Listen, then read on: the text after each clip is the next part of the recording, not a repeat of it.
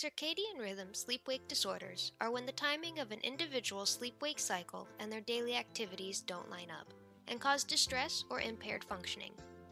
However, it's important to note that just having a sleep schedule that is different from other people, or if there is no distress or impaired functioning, means you might not have a circadian rhythm sleep wake disorder. Many people naturally wake up early or late. There's nothing bad or wrong with that. It is not a problem that needs to be fixed.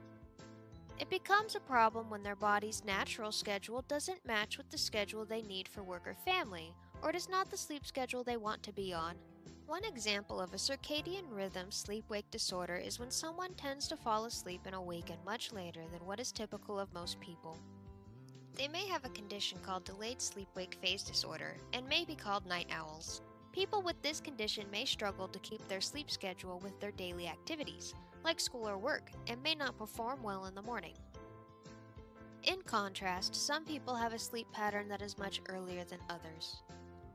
People who tend to fall asleep and awaken much earlier than others may have a condition called advanced sleep wake phase disorder and may be called larks or early risers. People with this condition may struggle to engage in evening social activities Still, others may have an atypical sleep cycle that seems to have no pattern at all.